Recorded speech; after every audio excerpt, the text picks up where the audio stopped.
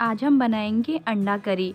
इसे बनाने का मैंने बहुत ही सिंपल तरीका बताया है। बहुत ही आसानी से ये 10 मिनट में बन के तैयार हो जाता है और खाने में तो बहुत ही ज़्यादा टेस्टी है। तो चलिए फिर देर किस बात की। आज की मज़ेदार रेसिपी शुरू करते हैं। इसे बनाने के लिए मैंने गैस पे एक पैन रख दिया है। अब हम इसमें दो से तीन चम्मच सरसों का तेल डाल देंगे। इसे आप सरसों के तेल में बनाएँ। और यहाँ मैंने चार उबले हुए अंडे को ले लिया था। इसमें हम एक नाइफ़ की सहायता से ऐसे कट लगा देंगे ताकि ये फ्राई करते हुए छिटके नहीं।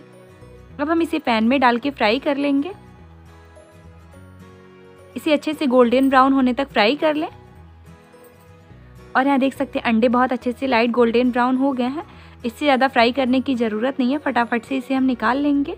और इसी पैन में हम करी भी बनाएँगे। तो यहाँ मैंने बारीक कटी हुई लहसुन और अदरक को तेल में डाल दिया है।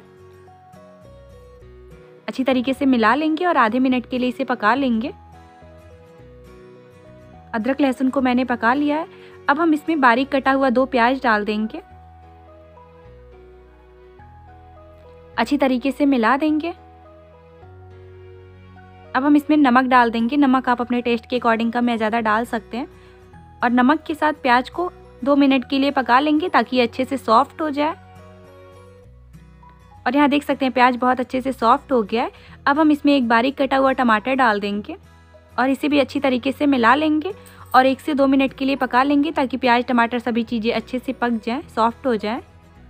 और यहाँ देख सकते हैं सभी चीज़ें अच्छे से पक गई हैं। अब हम इसमें आधी छोटी चम्मच हल्दी पाउडर, आधी छोटी चम्मच लाल मिर्च पाउडर, आधी छोटी चम्मच काश्मीरी मिर्च पाउडर, आधी छोटी चम्मच धनिया पाउडर और आधी छोटी चम्मच जीरा पाउडर डाल देंगे।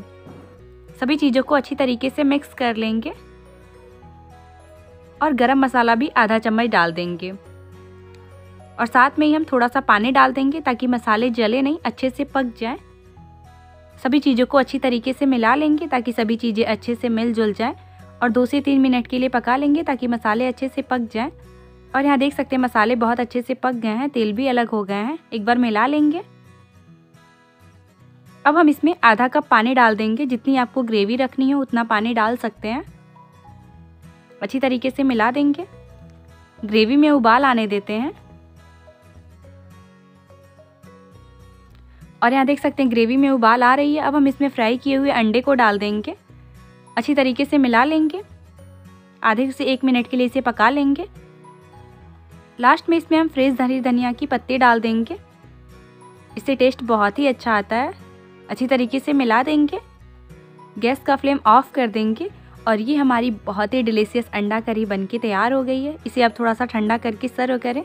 देख सकते हैं, देखने में बहुत ही ज़्यादा डिलीशियस लग रहा है और खाने में तो बहुत ही टेस्टी है। आप भी इस अंडा करी की रेसिपी को ज़रूर ट्राई कीजिएगा, आपको बहुत पसंद आएगा। वीडियो अच्छा लगा हो तो उसे लाइक कीजिएगा और चैनल को सब्सक्राइब कीजिएगा। और साथ में बेल आइकन पर भी प्रेस कर दीजिएगा ताकि मेरी नोटिफिकेशन आपको मिलती रहे। Thank you friends